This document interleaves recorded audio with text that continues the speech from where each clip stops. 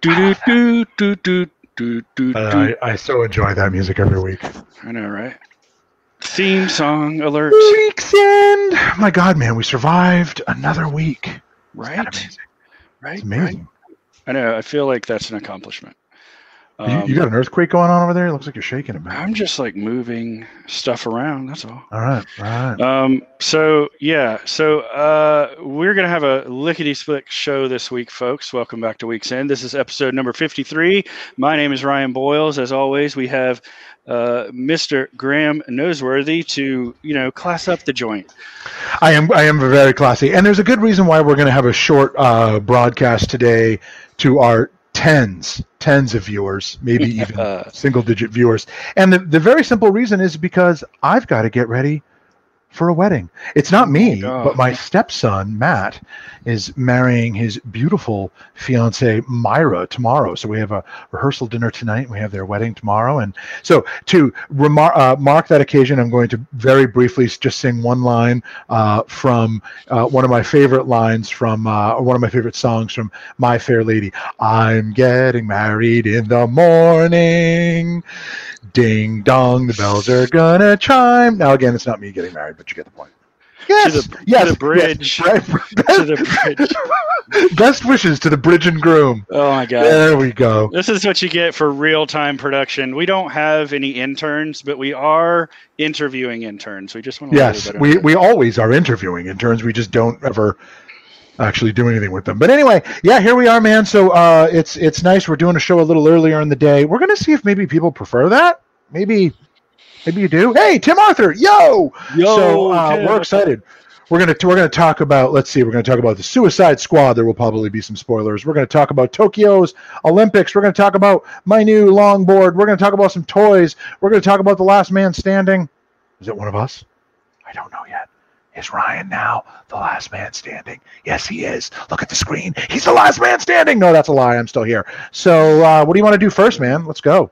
Uh, I think we got to get into Olympics first because I know Okay. this has been like you are a big, big, big Olympics fan and watch I am an no, no, no. I am an Olympic super fan. I am a super fan of the Olympics. Well, all right. Well, t- so what's been going on? Because I've only been watching things I like. I think you get into much more Yep. of, of the full scope. So, as, so as you know, Ryan, I, I am not a sportsing fellow. I do not watch any football, uh, baseball, cricket, hockey, golf, you name it. I think it's all cool. I just am not into it. So, but for some reason, since I was a little kid, the Olympics were a very big deal in my family, and we always watched them, and I love them, whether it's summer or winter games.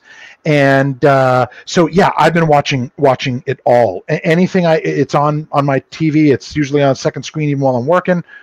I don't know if I should admit that, but uh, I watch it night and day, first thing in the morning, last thing at night, and I've been watching it all. Whether it's crazy things like speed climbing and race walking and canoe slalom, or some of the new stuff, like some of the new karate stuff that they're doing. I watched a a a forty year old woman from Spain yesterday win. I don't even know what it was called, but it was like single person karate where they do this. It's like a a demonstration of their technique, and it was astounding. No, that's Um, what I'm into too. So I that's Yeah. that's honestly I've only been watching the new stuff really. Um, other than soccer. My you know my big thing Yeah. soccer, so I've been rooting Yeah. on the women, of course. But um, Yep. skateboarding, skateboarding has been. I wasn't sure what to expect from skateboarding. It's awesome. It's awesome. Um, but uh, I'm kind of stoked now that it's a thing. Yeah, Um, I, I've really been enjoying all of the common sports, like you were saying too. All, all the usual stuff, soccer, the the track and field. I mean, any of that. The the scene where the two guys won the uh, high jump and then shared the gold medal. Dude, I was crying. And my, my thing is like, yes, I love it when America wins. I'm an American, or Canada. I'm also a Canadian. So when either one of those wins, it's it's cool. But I like watching any athlete from any country win their medal because it's Right. always a beautiful moment. It's always extraordinary. They always deserve it. It's always the culmination of years of work. It's on a global stage and it's and it's just really really cool. So I love the Olympics, but what's interesting is my son taught me something yesterday that I never knew about the Olympics and I was really floored by this. You're supposed to say what is it, Graeme? Uh, what is it, Graeme? Well, Ryan, thank you. I'm glad you asked. Um, so I he told me that in 1948, uh, the Olympics actually had medals for they had arts competitions. And it included all kinds of things like painting and sculpting and singing and composition but it also included architecture and things like city planning. And to this day there is an arts exhibition at every olympic games. Now they don't give out medals anymore. I think they should but they don't. But i thought that that was there it is bridge and groom again. So that's a, that's a really cool thing. It's uh Coming soon to Netflix, the new series Bridge and Groom. You can tell what kind of uh, week this has been, folks. Yeah, it's going to be a a, a, a, fucking buddy cop series, Bridge and Groom, with Ryan Boyles as the Bridge and Graeme Noseworthy as Mr. Groom. Now, now that's just getting creepy. Now it kind of sounds like we're getting yes. married, which is pretty cool. I, am all right with that. But anyway, okay. um, yeah, so the arts competitions, man, isn't that cool that they used to? It is that? really cool. And so you were showing a tweet earlier that um, I really was nerding out about. Um, but let me let me toss this up really quick. Yeah, there it is. So the categories in in the 48 Olympic Games were categories that were inspired by sports related themes. So architecture, literature, music, painting, and sculpture. Um, I, I, believe that means they all had to be based around that. So I, I have to do some more reading. The link is there. Uh, we can also share that in the show notes. But uh, it just was it was just really cool. And those are two pieces that I found from the 48 games that I thought were exceptionally expressive and beautiful. Um, and so yeah, man, really, really cool stuff. And I think it's cool they have the exhibition. I wish they would share that. I wish they would show that. I I've been an Olympic superfan since I was a kid. I had no idea. So if you did know and you're watching the show, I would love if you'd let me know if you had heard of this before, if you knew about the exhibition. But I think they should bring back the medals. Um, even if it's considered an exhibition with medals, I still think that they should do that, and I think it's really really cool. The other thing is, um, and I, I think you saw this tweet too, Ryan, was another thing that I started doing this week was every time they introduced an athlete from a country or even a city and state in the United States, like if it was some city I'd never heard of, um, or some country and city that I'd never heard of, I Googled it. And then what I, I Googled the name of that city and state, and then I looked at the images, and I sort of found that I was learning seeing some of these places that these athletes come from in, in yeah, countries yeah. all around the world. And that was a really cool way to sort of second screen experience the Olympics um, in Tokyo. So I also want to recommend that people do that. If you get a chance, Google Gabby Thomas. Gabby is from Florence, Massachusetts, which is part of the city of Northampton, Massachusetts, where I grew up. And Florence is an exceptionally beautiful little part of the world. So but do yourself a favor and I love the stories. I love the stories and the the shining a spotlight on these on the cities and where folks come from and even just their families it's been yeah. really because most of the families are watching remotely it's been tricky to like you know cover this with the audience uh, not being there live in person but it has been interesting to see i think it's brought out more of the family stories because the broadcasters have had to knit together sort of a new type of broadcast and bring them in and and create you know a virtual bond as best they can. But it's really been powerful to see those stories in that format. I would also say going back to s- skateboards and, and and and karate, and then we'll move on. Is that you know one of the biggest stories uh, or, or sort of more interesting stories about karate that I saw is that bringing this sport into to this sort of stage, the Olympics, really uh, one of the masters um, that they interviewed in California um, said, you know, he's third generation teaching, you know, the art. And it's really about discipline and teaching civility and teach, you know, it's not about kicking and punching. And so I think it's interesting to have a sport where the focus is about discipline. Um, and, and that's that's that's really cool in this day and age when we don't have so much civility in social media. And then skateboarding, I think a little there's a little trepidation about like is skateboarding still going to be cool if it comes to the Olympics? But I think they've put that to rest with with the amazing things that we've seen um, from the international stage. I mean, so many great talents from so Brazil, Brazil, yeah. South America, all over the place that have just been. And that's not a sport that, like, obviously, that like U.S. is a shoe in to win, which a lot of the other sports could be. You know. Yeah, and you know the the last thing I'll say about the Olympics, and then we got to move on to some other topics. Is I don't know if it's just the times and the way in which I'm viewing it, but I am seeing disproportionately more coverage of women competing, and I think that's great, and I'm really enjoying that. So um, I think it's it, I I, I, I have Well, no idea if it's deliberate or not, but I think it's great. I don't want to get into the negative side of the Olympics or social media any, but there was a woman in track and field who broke the men's record for the 200, I believe. Fantastic. Don't quote me on that, but there was um, really good story there. I think. Um, Good. Let's let's talk about Suicide Squad. yeah, Um, so to catch everyone up, there's been a little bit of drama in the DCU, DCEU, I guess we should call it. Um, but let's just talk about this. Um, James Gu- uh, Gunn, he jumped ship from uh, Marvel and is in DC now. Um, he brought some actors with him, though. I thought Yeah. that was interesting. I don't know if you thought that was interesting, but I did. I, did. It's like the ensemble came over. Right. So, um, but there are some some carryovers as well. Uh, Margot Robbie, who plays everyone's fan favorite Har- Harley Quinn, um, the guy that plays Flag, who I don't know his name, and I'm sorry, but there were there were some returning characters to the squad. Um, it was a fun movie. I just want to start there. I, I think this, in a way, sort of it was it was dark but funny at the same time and i think it almost gives you kind of a blueprint for like saving the dceu Yeah, I, I, I agree. I thought it was great. You're you're speaking to Joel Kinnaman, by the way, who plays Yep. uh, uh, uh, Colonel Flag there, um, who also was magnificent. Also is magnificent in um, For All Mankind, which is coming back soon. But I really liked it.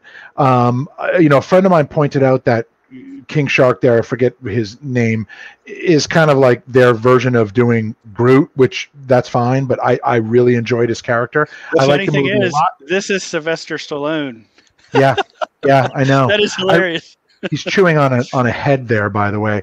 Yep. I, I I I really liked it. Now, uh, let's just go ahead and do a spoiler warning here uh, for those of you maybe who have not seen it yet. I know we're not even 24 hours into its release, but I thought it was great. I thought so.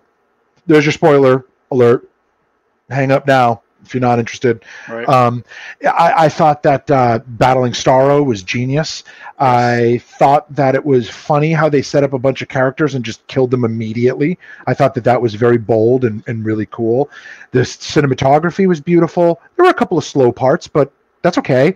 And I thought the scene with Harley. Uh, where she breaks out and then they rescue her, which isn't really revealing a lot because they show that in the trailer, was the full version of that scene was intense. So yeah, I really love like the film, I and I hope he does more. I thought Polka Dot Man stole the show. I thought it was. Yeah, Uh, yeah, thought yeah, it was yeah. really good. Really I thought good. it was Great interesting how the Weasel, Polka Dot Man, Ratcatcher 2, spoiler alert, is like the hero of the film. Like, I mean, there was so much to this that um, was unexpected. But I, I was I was going into this knowing that we were going to get a lot of surprises like that, and I I, I think you know James They Gunn- delivered. I mean, we when we did our DC fandom coverage last summer, I mean, Yeah, they were they were literally doing the press tour for this film then yeah, and uh, and we knew we were going to get some like a, a roller, a, an f bomb, R rated, hard R rated, you know, roller coaster ride, and that's what we got. yeah. I mean, I thought James Gunn or Jimmy Gun Guns, as he's known to friends like us, I thought he did a really good job. Delivered.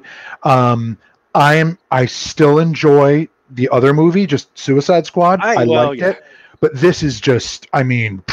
this is hell and gone from that.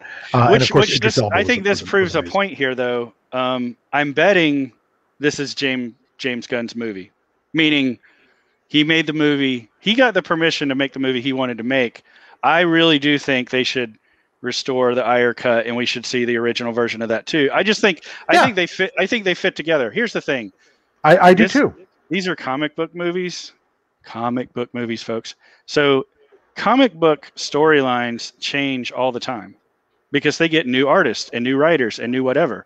These Yeah. two movies can fit together just fine I, I in- in totally the- agree the that they fit in- together. in, in the series. So I, and even as they are right now, it feels like they fit together. I mean, right, they really they do. did not. They, really They, didn't. They didn't do an origin story. They just showed as if she was picking a new team. It was still the same. So I know they say it's a reboot, but it it, it felt like Well, they I- go together. I really appreciate that. I appreciate that they didn't even explain who Flag was. Yeah. Flag just showed up and he was the leader of the team. Boom, done. Yes. It wouldn't have worked otherwise. You know what I mean? I agree. Um, so so that is cool. I think uh, let's talk about toys and well, no, no, no. Let's switch over to Y: The Last Man. So there's a trailer out for a new film that is coming. I want to say, isn't it Hulu? Yes. Um, well, it's FX on Hulu, exclusively streaming. Uh, yeah, but is isn't that Hulu? That is Hulu. It Oh, just okay, means right. it just means that a lot of FX programming now is getting sucked into the Hulu mothership. Um, Um, but it's coming out September 13th, which is roughly a month and change from now. This is another comic book film that I think, you know, we're starting to get these more fringe stories or more like out there stuff. So I'm excited about it. I, I'm excited too. I love the scene when they say, "Madam President, um, the power plants are going to start shutting down," and and she says, "What? Which city?" And the girl looks and just goes, "All of them."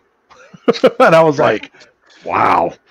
Well, that's some gravity. Let me tell you right? something. You turn off the lights, and we're in the Stone Age, lickety split. So Yep. Well, and I love I well I I kind of like thought it was fun that they used James Brown uh, music in this trailer. So I'll give them I'll give them a hat tip for that too. yeah. Um, Oh, that and- reminds me. I loved how they opened up with in in Suicide Squad. I loved how they opened up with um. yes. Oh my Uh, well, God, Johnny Cash. Johnny Johnny- Cash. I, that was, Cash was fantastic. I love So that song. Yeah, we, we we would be we would be remiss not to go back and talk like for 30 seconds about the music in the Suicide Squad is amazing. Like it Yes. it doesn't feel it doesn't feel cheap like it does in some films where you can tell they're just trying to have like almost like the McG like Yeah. the Yeah, yeah, knockoff McG effect if you if you want to call it that. Um, this felt like it, it felt fun in all the right places and and yeah, it, it just was awesome. So Yep, check it out. Loved it. Um, I wonder if like I, I really want them to come back with like soundtracks that you want to buy from a film. I know we I know we're streaming everything these days, but it seems like this would be a soundtrack I would actually want to go check out on Spotify. Why don't you show us? Wait a minute. Why don't you show us what you got on the floor? I think you're standing on something right now, right? I, I, I'm not standing on it; it's sitting next to me. But so I have started a, a, a, a pretty great exercise regimen. I'm up at 6 a.m. Uh, most days. I'm either at the gym or I'm hiking, and I wanted to find something that would allow me to mix that up on certain days where maybe I just want to get out there, but not uh, go crazy. So um, when I was a kid, I had a neighbor across the street, this guy Wade Johnson, and I can't remember if it was me or my brother, but he built a longboard. He literally made his own longboard, and I used to use it all the time. I don't know what happened to it. It's probably just went in the trash at some point. But it was really cool. And you know, I'm also a snowboarder, and I used to be a rollerblader, and I have an electric kick scooter. So those kinds of like things I really love. So I invested in a Magneto longboard, Oh, which is bamboo with a Canadian maple core, and uh, red. Red, red. I, I don't know if that's true. Uh, It's Now, are they core. all that way, or did you get the special Canadian edition with the special Canadian red wheels? I, I, I'm. I fully confess to have bought the special edition, Oh my god! and so this is my 44 inch uh, kicktail cruiser, and I'm really, really, really excited about it. So I'm gonna That's, that's take it said. easy. And, right. and somebody made a good point when I talked about this on Twitter. They made a good point. They're like, get wrist guards. So I did. And obviously, I have a helmet.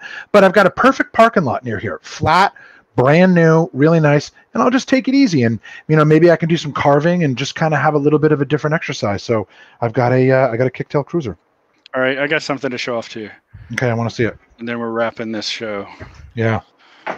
Um, Oh I was trying to produce a jump. I was trying to produce a jump scare in our show live. Whoa! All right, check this out, folks. This is amazing. You know, I'm like an aliens fan, right?